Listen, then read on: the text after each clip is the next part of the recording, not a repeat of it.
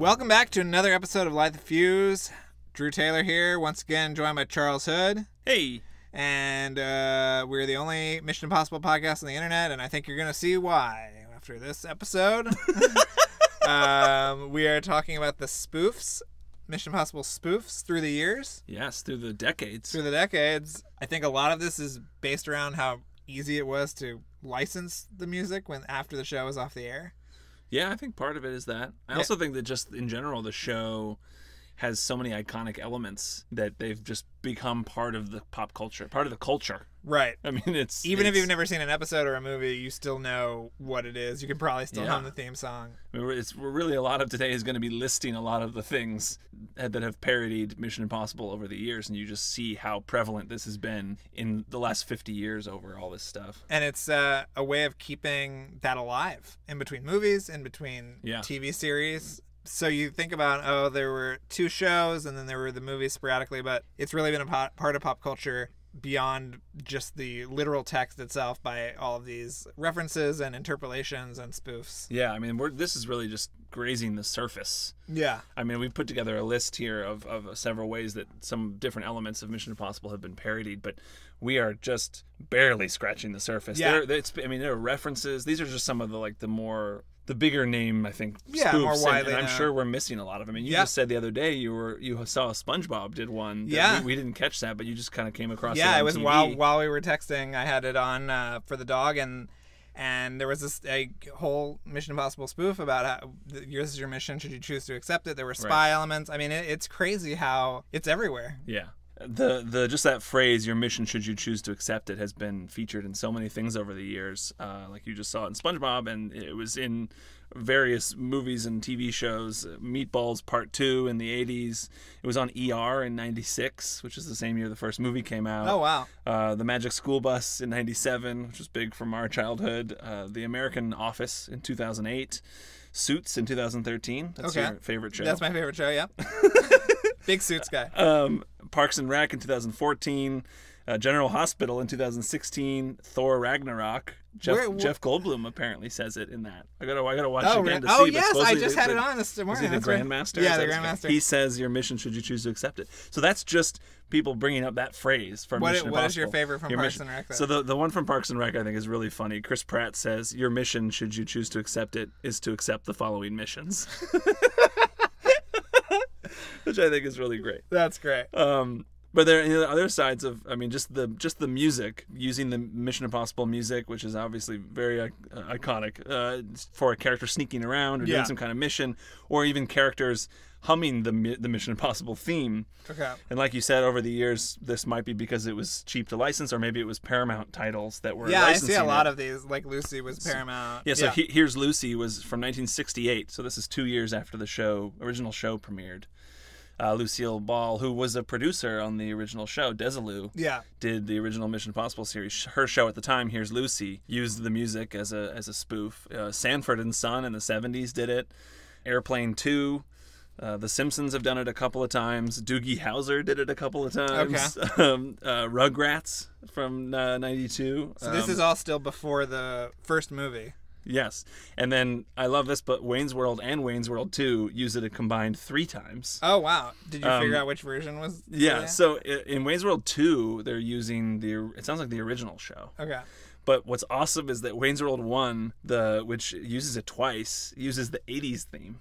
Wow So the Lala's cool. 80s theme from the show that was in 88, 89 Mm-hmm. is is used for the, for it's like Garth, he's like going to his car to get he gets like he gets a yeah. device to like break into this. Uh, I think he gets kicked out by a, uh, bouncer or by a bouncer. Yeah. Yeah. and so then he goes, in, and then they use it again near the end of the movie. So so yeah. Uh, Wow. The first Wayne's World uses it twice, and it's the '80s theme. I love that.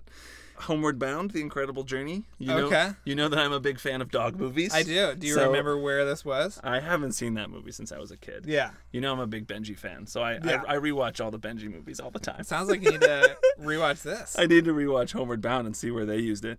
Uh, Ani- Animaniacs. of course. which uh, loved as a kid. Um, used it. Uh, Ace Ventura: Pet Detective, of course, when he goes and sneaks off into the Oh, mansion Udo Kier's mentioned. yeah. Yeah. and he goes and tries to go find Snowflake the dolphin and ends up finding the shark. But when he sneaks off, he does that. It's a very big movie for my childhood, Ace Ventura. Uh, there was a Kenan and Kel episode that did it in '96. All right. Uh, D3, The Mighty Ducks. Nice. That '70s show did it, and uh, Shrek 2, I guess, does a they light a fuse and do the theme. Oh, wow. I don't remember. I haven't I seen it since either. theater or Yeah. something. Uh, there's a 30 Rock episode where I think Alec Baldwin's assistant, I forget his name now. Oh, the so really funny. nerdy guy. Yeah, Yeah. He, he's doing some sneaking around. He's humming the theme to himself. Um, and then Paddington, the first Paddington movie, uses Really? the theme, okay. which uh, those Paddington movies are really great. Yeah. Um, Shout out to Paddington. yep. Shout out to Pat. We'll do a we'll do a whole podcast. We'll- We'll start a new podcast on just Paddington. Yeah. Um, that's just the music, and that's just a, a not even a full list. Yeah. Of the over the decades of people using that theme for funny scenes. Um, there's also the phrase "This message will self-destruct in five seconds," and that's you hear that everywhere. It was back in 1970. It was in Green Acres. wow. It was in. I watched uh, Green Acres a lot as a kid. Really? Yeah. Did you? No, Never. No. I Wow. think my experience with Green Acres is Pauly Shore singing the the Green Acres theme in the movie Son-in-Law. Son-in-Law? Nice. They're driving him and he's in the back of the pickup truck and Nice. he's singing it. That's I think the extent of my Oh, Green, okay. Green It's Acres good. experience. Yeah. I should check it out. You should check it out. The this message will self-destruct in five seconds. Also was used in Pee Wee's Playhouse. Okay. It was in the Weird Science TV show in the 90s. It was on The Simpsons a couple times. It was on Veronica Mars. It's in The Incredibles, like you Which pointed we out in talked one about, of uh, yeah. one of our earlier episodes. It was in an episode of Chuck and an episode of Phineas and Ferb. That does not surprise me. So that's just the mess. This message will self-destruct in five seconds. Then we can talk about just the Langley sequence in the first Mission Impossible Right. movie and how that is so steeped into pop culture. I mean, it's just still being parodied Right. to this day. So, I mean, back then there was a news radio episode which you can watch on YouTube. They have that scene uh, from news radio. It's a really funny parody of the of the whole Langley thing of you know you can't touch the floor and you can't and they're, Yeah. they're trying to sneak into Dave Foley's office and Andy Dick's hanging from the ceiling. It's a really funny scene, and we can post it on the Twitter. Right. Duckman. I don't know if you remember that show. Duckman. I do remember Duckman, They- I don't did it. remember. Uh, And it's specifically like hanging from the ceiling. There's a. Cele- do you remember Celebrity Deathmatch? of course. the claymation Yeah. series. They, there's a Tom Cruise comes into the ring hanging from the ceiling. Who was he fighting? I don't remember. Okay. I didn't find the clip. I But was just reading the picture. Yeah, description and I just vaguely remembered. The Inspector Gadget movie did it. Boy Meets World, Cats and Dogs, which I'm a fan of that Yeah, movie. you're a big it's, fan of that It's movie. a spy spoof with dogs. Yeah, it's movie, great. and I'm a big fan of that. Yeah. it's a good family movie. Yeah. Buffy the Vampire Slayer did it. I think that's the TV show. in Yeah. I don't remember of that, but Uh, South Park has a really funny one in 02 where they're sneaking into this barn to try to save these veals that are going to Oh, yeah. the, that's a the baby re- cows very from funny becoming clip. Yeah. Uh, it's a really funny. Um, they, and Cartman has this Mission Impossible kit Yeah. on how to break in. because It includes like a blowtorch and all these other things. It's a really funny scene. Uh, Aqua Teen Hunger Force, uh, The Fairly Odd Parents, Family Guy, The Princess and the Frog, What? What princess? I don't remember. Toy Story 3. Well, you know that when he when uh, Woody hooks his uh, you know the string for his voice right. and he hooks And it up and he and then falls he- and he, yeah, he repels comes down. down. That's Yeah. right. Yeah. Uh, Tangled. Don't which I don't remember. that. They said it wasn't. I've never seen Tangled, but I was reading the description Uh-huh. of it, and it wasn't the long hair. It was someone. It was a guy who was doing it. I guess. Oh, it was Flynn Rider. Yeah, he's a criminal. What did they say was Princess and the Frog? I didn't. Re- I didn't find a Okay, description I'll find We'll it. have to watch Yeah. that. Archer in 2011, Brooklyn Nine Nine um, in 2013, Muppets Most Wanted, Yeah. which you and I are big fans of. Big Muppets fans Most, of Muppets I think Muppets Most Wanted is a really underrated Muppet movie. that Yeah. was overlooked. Sharknado 5 did it in 2017. Always and, on top of it. and Bob's Burgers did it in 2018. Wow. So these, these Langley spoofs, I mean, it's just every year there's something new. And this isn't even all of them. These are just the ones that I thought were most significant for us to talk about. Right. And I'm sure that I couldn't even find. This is mostly going from IMDb, where they they talk about referenced in, spoofed in. They have a whole page for that, you know, movie connections Yeah. for each thing. So I was just looking up those. If you find one that we missed, please let us know. Yes, Too. yes. And I want to do a shout out to. So we, we still haven't gotten into the mother of all spoofs, which we will in a second. But before we get there, I want to just give a shout out to Mystery Science Theater 3000, the Right. original run of that show from '89 to '99. Which they were spoo- you know they just watch old cheesy Yeah. movies and talk over them. They did many, many, many, many different references to all these different kinds of Mission Impossible lines and gags and And you know that show aired on Saturday nights, just like Mission Just like, Impossible. oh well, Yeah. learn something new every. Yeah, every there day. you go. Uh, and then I guess that takes us to what we should talk about, which is the best yeah. Mission Impossible parody, which we think is you know the funniest. This should be like considered an entry in the movie series. Yeah, I think so. and that is of course Mission Improbable, right. which Ben Stiller made as a sketch as part of the MTV Movie Awards Right. in, In 2000, 2000, yeah. So, which we probably watched on TV live. yeah, I th- we must before have. TiVo or anything like yeah, that. and and it was, that was a big award show. I mean, it was sort of edgy and Yeah. young and and fun. Uh, it's amazing. Yeah, and Stiller had a history with with Cruise before that. Yeah. of parodying him. He had appeared on SNL Celebrity Jeopardy. They- You know they have their Celebrity Jeopardy series where Will Ferrell is Alex Trebek. Or, Yeah. You know, and uh, he so he was Tom Cruise on that. And of course, there's a really great parody to look up to that Ben the Ben Stiller show in the early '90s did Tom Cruise Dress Casual, which was a one man Yeah. Broadway show where It was Stiller like greatest hits. So yeah. Stiller is pretending to be Tom Cruise in a one man Broadway show where he sort of goes through his whole career acting out all of the parts. I think And it helps because he it kind of it kind of leads. It's a good lead into this Mission Improbable yeah, sketch. and then he looks a lot like Tom Cruise. He does, So and he's got it down. Yeah, and, and- he'd been working on this for ten years. You know, doing this right. the the impression. And after the sketch, he Tom Cruise obviously starred in Tropic Thunder with Right, him. yeah, Which they were talking about spinning off into its own movie. I, I remember when I went to see Tropic Thunder. This was sort of at a time where Cruise was not very popular. right. This is this was kind of a big step for him to come back into people's hearts. I Yeah. think. I was in the theater opening day on Tropic Thunder. And I think I knew about the Tom Cruise, or maybe when I was watching, I realized right away, oh my god, that's Tom Cruise, because Uh-huh. they, they tried to keep it a secret. But it was like every scene they would go to Tom Cruise, it was a packed audience, and everyone around me, you'd start to hear people whisper, like, oh my god, that's Tom Cruise. Is that Tom Cruise? Like, it was a really amazing That's cool. theater experience where it was people were buzzing, like finding out, oh my gosh, that, is that Tom? Holy crap! Because he just transformed himself Yeah. into this weird, sweaty, fat movie studio executive for Ben Stiller, and it's It seems like really a perfect funny. time for him to come back and do this character. maybe, maybe not. Maybe Yeah. But let's talk about Mission Improbable. Let's I mean, talk about let's it. just talk about it itself. T- he plays Tom Cruise. Ben Stiller plays Tom Cruise, spelled C R O O Z E.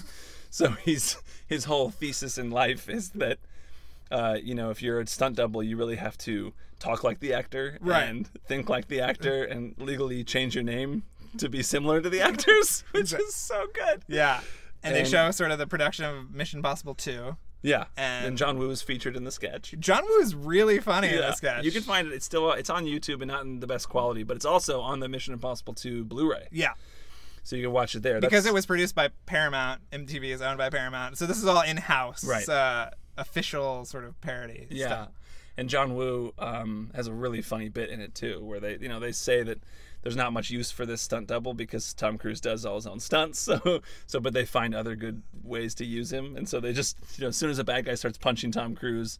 Tom Cruise steps out, and the Ben Stiller Tom Cruise steps in and just gets punched over and over again. Right. And John Woo's like harder,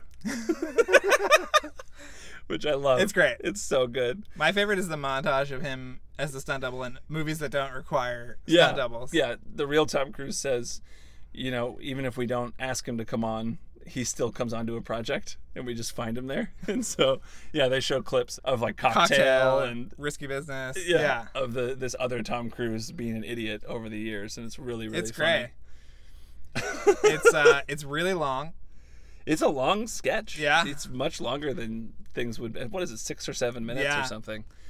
I, I I think when they're they're they're they're like with action figures and motorcycles, which you can see now. There's a video of Cruise planning the climax of Fallout, and he's doing it with little miniature really? miniature helicopters, and it's him like talking with all the stunt guys right before they go out to film all the helicopters. Probably And because he's- he's, the one piloting one of the yeah, helicopters. and he's like moving them around. It's the same thing in Mission Improbable. He's got little, and I don't know if that's how they actually did it or if Yeah. it's just for the sake of the sketch. But he's got toy motorcycles and a toy version of himself and a toy version of uh, of Sean Ambrose, the bad guy, and he's walking through with the stunt guy what to do. And that's when Ben Stiller steps in. and He's like, "Hey, I just got this this idea. You know, just what if like right before you guys hit in the air, you look right into the camera and you say, "This mission." just got a hell of a lot more impossibler. so good. I think that's probably my favorite part. And referencing the fact that Tom Cruise kicks a lot in the Yeah. climax too. yes, which I just finished a rewatch of Mission Impossible 2 and counted the number of kicks. And I think we'll save it. all right, We'll save it. We're going to do a ranking impossible episode Is where we talk about our rankings for all the sequences and characters and all these different things. And after we've really digested Fallout and think about what is our ranking for the series, we're going to do that. We're going to rank a lot of different things and we'll talk about how many kicks. are there a lot? You might be surprised. Okay, all right. I will say this I was expecting a lot of kicks, and for the first hour and a half, there is not one. Wow. But in the last half hour, it really does become, as Ben Stiller says, kicking impossible. I can't wait. yeah, so we'll, we'll dig into that later. Do you uh, do you wonder why there have, hasn't been a follow up to this? To Mission Improbable? Yeah. Oh, yeah. I feel like I wish I had a line to Ben Stiller because I I, would be like, "You got to go do this." Can you? I mean, with Fallout right now, I know it would be can great. you imagine? Because now, now Cruise is pushed so far into this stunt yeah, aspect of it. He's like Jack. He's like Jackie Chan now. Yeah. us. That Stiller could really bring Tom C R O O Z E back. yeah. I think it would be great.